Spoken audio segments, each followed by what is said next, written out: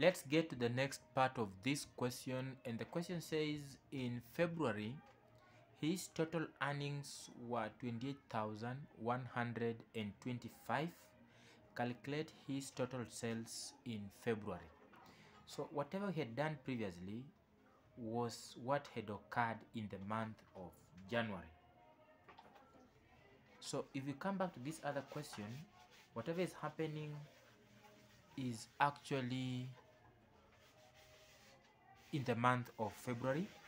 And you are told that in that month of February as our second month this person had a total of 28,125 as his total earnings.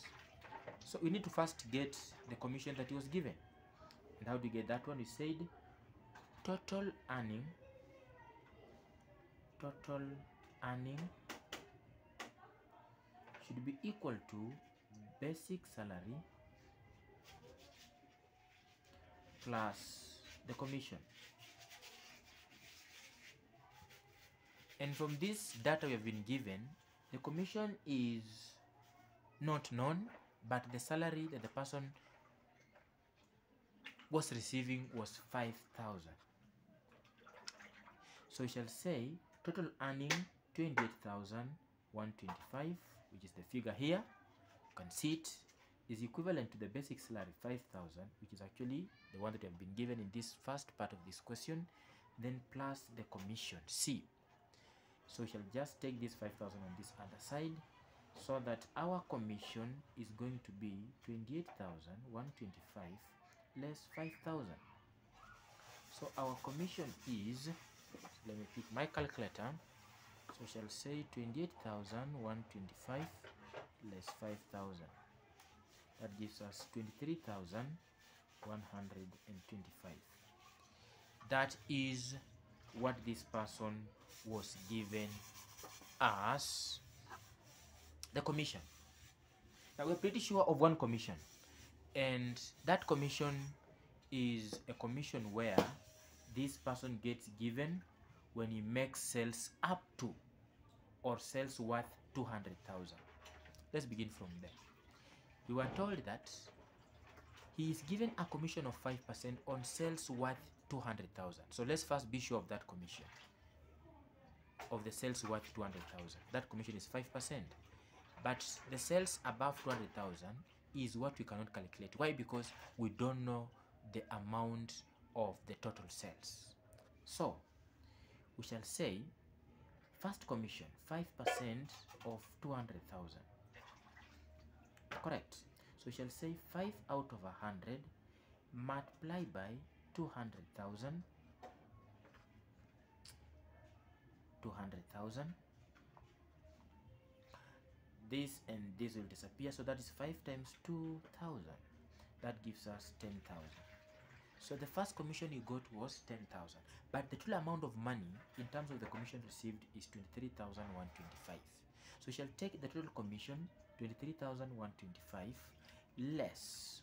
The first commission we are sure of which is 5% of 200,000 so minus 10,000 to get the remaining commission that you got on sales above 200,000 so that is going to be 23,125 less 10,000 that gives us 13,125 so the remaining commission is 13,125 these are the commission received on sales above 200,000 so we shall do this.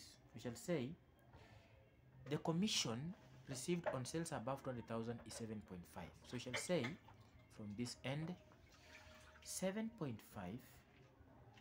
over 100 times x the sales above 200,000 of which you don't know actually. That's an unknown value it must be equivalent to the commission which is now 13,125 the commission received. So it's equal to 13125 so you'll just work out for the value of x. 7.5 times x that is 7.5x over 100 is equals to 13,125 we shall multiply both sides by 100 so times 100 like that then times 100 this and this will disappear so we shall have 7.5x is equals to 13,125.00 divided by 7.5 divided by 7.5 correct. So we want to get the value of x which will be now the cells above 200,000 so we shall say let me begin from here. 13 12500 divided by 7.5 that gives us 175,000 175,000 so the sales above 200,000 was 175,000 um, so 175,000 correct.